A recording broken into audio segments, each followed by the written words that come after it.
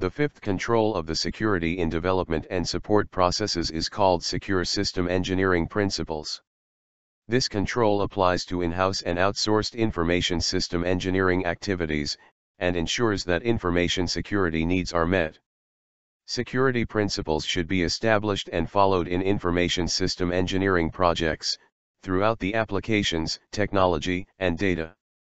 There should be a balance between security measures and accessibility requirements, while ensuring that known vulnerabilities are analyzed and controlled.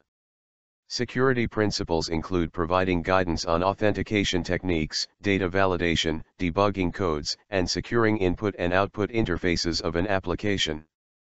These controls should be constantly reviewed, and a security policy documenting those principles should be maintained. Security should be treated as an integral part of a system design, reducing risk to an acceptable level. A range of controls should be in place, rather than just relying on a single layer of protection, that if compromised could cause serious damage to the organization.